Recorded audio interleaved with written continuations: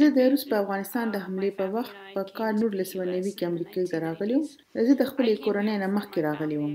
الینا جان نوابي چې کله امریکا ته راغله نو ډېره زیاته سوځېدلې وه. ما ته سم نه دي یاد چې څه شوي وو. ما د خپلې مور نه هم تپوس کړی و چې د هغه وخت کیسه وکړي، خو هغه هم په ذهني توګه خپل بچي په سوځېدو باندې په لیدو پرېشانه وه. په ماشوموالي کې د کلونو پورې هغه د هسپتال نه نه شوه وتلی. هغې سکول هم هلته کې ووې، خپلې کلیزې هم هلته کې ونمانځلې او تر دې حده چې کریسمس به هم په هسپتال کې کولو. نن هغه کونسل آن امریکن اسلامیک ریلیشنز یا کیر کې کار کوي. د امریکا دغه تنظیم د مسلمانانو لپاره کار کوي.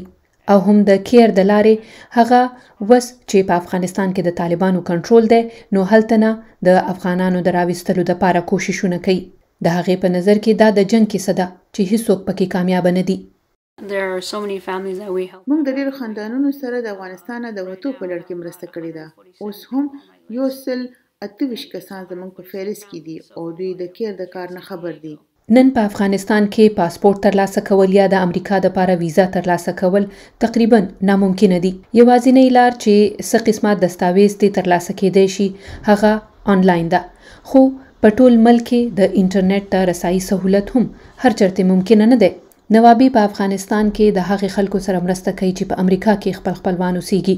او د هغې خلکو دپاره د ارضی پناځی بندوبست هم کوي چی په څه نه څه طریقه باندی د افغانستان نه راوتو کی کامیاب شوی دی.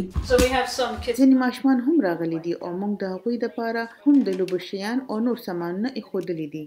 د افغانستان نه راوتو او هلته کی چی د هغې سره څه شوی وو ددی ټولو یادونو نه باوجود نوابی وایی چی په دی شکرګزاره ده چی نن د خلکو سره مرسته کولای شی نوابي وايي د هغې په نظر کې د هغې کار د هغې افغان جنکو ته د ژوند امید ورکول دي چې هم په هغې عمر کې دي چې کله په یو وخت کې هغه وه. ثمینه احسن، وایس اف امریکا، ډیوه، واشنګټن ډي سي.